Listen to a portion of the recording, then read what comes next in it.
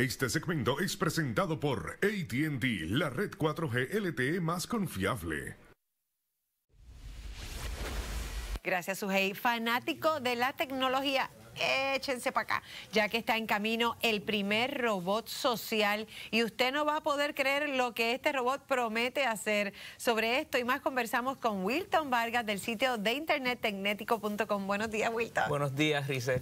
Qué bueno, ahora un robot, ¿ah? Sí, eh, en este caso no es la idea romántica o que siempre hemos visto en las películas y en televisión de lo que debe ser robot. Esto es totalmente distinto porque la forma es distinta y la forma como opera también es un tanto distinta. Bueno, pero, pero promete. Quiero saber porque si no lo voy a creer, pues contigo sí tengo que creerlo. Se llama Jivo y es un eh, robot que es eh, producto de las mentes privilegiadas del MIT, que es el Massachusetts Institute of Technology. Y estamos viendo ya visuales del robot y ese es el robot, y ese es Jivo. Y Jivo tiene varias características. Eh, está diseñado como un robot para la familia. Y una de las cosas que puede hacer es que es totalmente interactivo, interactivo en términos de que reconoce hacia dónde está mirando, qué es lo que está pasando en el lugar donde lo ha puesto y reconoce la voz. Por ejemplo, una de las cosas más sencillas que puede hacer es simplemente pues, tomar una foto para todos los que están en el grupo. En vez de hacer selfies, el robot le dice, tómame una foto, reconoce las caras de todas las personas y toma la foto y lo encuadra perfectamente. Pero eso eso es lo más sencillo. Eso es lo más sencillo. ¿Qué más tiene? Esto que estamos viendo ahora es, es cómo se convierte en un asistente personal, en el cual tú le hablas, el robot, por ejemplo, le está diciendo a ella que eh, hay una, eh, una cita a la cual ella tiene que asistir, pero que si no sale ahora, pues va a estar tarde. El robot se lo está diciendo. Excelente, ahí ahí te ahorras un montón.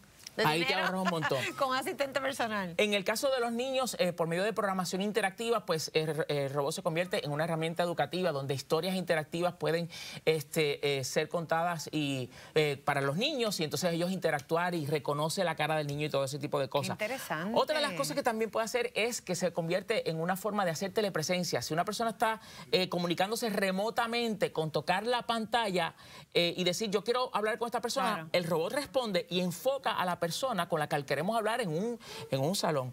Pero aparte de eso, y creo que es lo más prometedor, eh, es la capacidad de Givo de convertirse en realmente más que un asistente personal en, un amigo. En, un amigo, porque por ejemplo en esa escena el, el Givo le está diciendo a él que tiene un mensaje. Él le dice, léeme el mensaje. Y es pues una jeva que le está dándole ahí.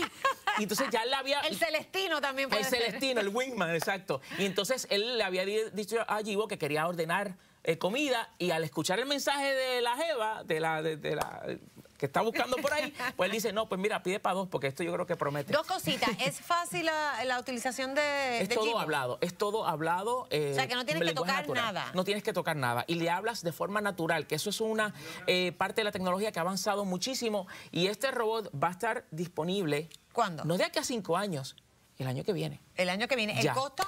Eh, va a estar aproximadamente como unos 500 dólares, este, se espera que se venda. Eh, inicialmente esto fue un proyecto que se eh, trajo a la luz pública para que las personas pudiesen aportar para su desarrollo. Estaban pidiendo unos cientos de miles de dólares y ya va sobre el millón de dólares recaudados para hacerlo realidad y esto va a ser realidad tan temprano como a principios del 2015. Bueno, pues vamos a estar esperando con ansias a Givo. Tan pronto llegue a ver si pues se convierte verdaderamente en un amigo de la familia y eso unido con lo que está pasando en, los teléfonos, con Siri, con Cortana en el caso de Microsoft, con Google Now en el caso pues, de Android, todo ese tipo de cosas, es como la tecnología va a ir adquiriendo sofisticación para que usted la pueda utilizar de una manera más fácil. Por eso hay que estar pendiente de lo que está pasando en la tecnología. En tecnético.com. Muchísimas gracias, Wilton. Claro. Continuamos con más de Tu Mañana.